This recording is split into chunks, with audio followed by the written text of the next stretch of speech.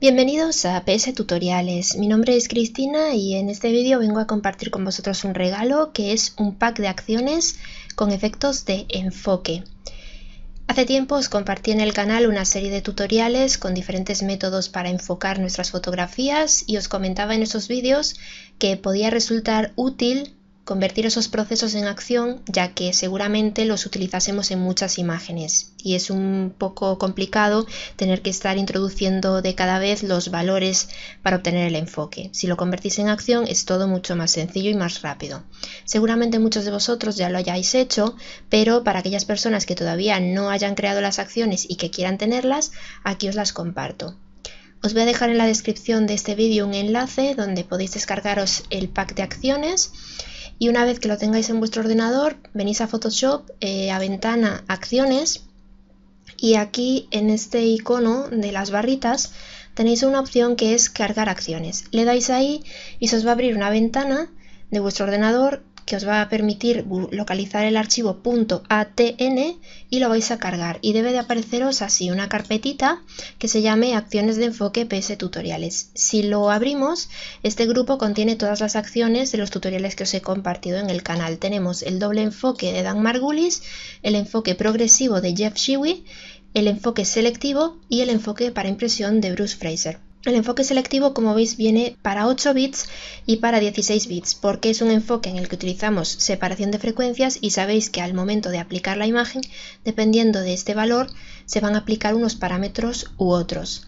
Voy a aplicarlo en esta imagen para que veáis que yo cuando lo aplico sale esta ventana donde os indica precisamente esta advertencia, es decir, que tenemos que comprobar antes de nada si nuestra imagen es de 8 o 16 bits porque como veis los valores del comando aplicar varían. En este caso esta acción aplica los valores para una imagen de 8 bits. Si nuestra imagen es de 8 bits pues le damos a continuar, si no lo es le damos a detener. Yo le voy a dar a continuar porque sí que es de 8 bits. Y al final de cada acción siempre os va a aparecer este mensaje que lo he introducido para, bueno, para daros las gracias por haberos descargado las acciones. Le damos en continuar y ya lo tendríamos. ¿Veis? Ya tengo aquí el enfoque realizado. Obviamente eh, yo he utilizado unos valores que más o menos funcionen para todas las imágenes, pero si veis que en algún caso el resultado es muy exagerado, siempre vais a poder eh, manejarlo. Aquí, por ejemplo, podríamos hacerlo en esta capa, que es la que le da el enfoque, bajando el contraste, o si no, en el conjunto, eh, del grupo, en este caso, creando una máscara de capa. Las máscaras de capa siempre nos van a permitir enmascarar ciertas zonas de la imagen si queremos que se note más o menos el efecto. Incluso podríamos bajarle la opacidad. Borro el grupo, vamos a aplicar otra acción para que veáis que todas funcionan. Por ejemplo, la de, la de Jeff Shiwi, que era bastante larguita, había que introducir bastantes valores. Le doy al play y ya está. Le doy en continuar y listo. Ya tengo el enfoque hecho. Mira adelante y el después. Como os digo, siempre podéis bajar opacidad o dejarla a vuestro gusto. Y antes de despedirme quería comentaros algo porque la verdad es que no estoy muy segura de si os va a afectar o no. Yo espero que no, pero me da que sí.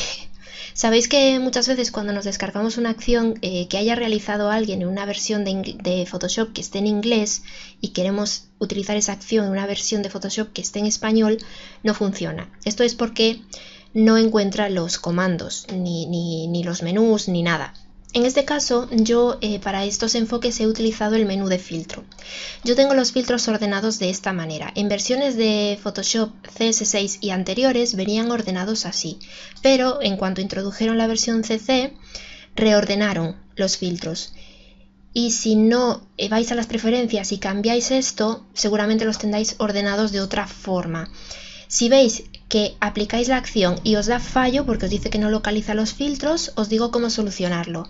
Vais a las preferencias con control K y donde pone plugins, veis que hay una opción que dice mostrar todos los grupos y nombres de filtro de la galería de filtros. Como veis yo la tengo marcada. Esto por defecto cuando te descargas el Photoshop viene desmarcado. Lo marcáis y le dais en OK. Deberían de aplicarse los cambios al momento, pero veis que pone aquí que si no se aplican cerráis Photoshop, lo volvéis a abrir y ya está. Y deberían de apareceros los filtros así, ordenados como los tengo yo. Esto es para que si veo que alguien me dice, ay, es que no me funciona la acción, bueno, pues seguramente sea por este problema de los filtros, por eso lo comento en el vídeo, ¿vale? Para prevenir. Y ya está, esto es todo. Espero que os guste el pack de acciones. Si es así y os resulta útil, dejadme like y un comentario y no olvidéis suscribiros al canal porque seguramente esté compartiendo más recursos en posteriores vídeos. Yo me despido, hasta otra.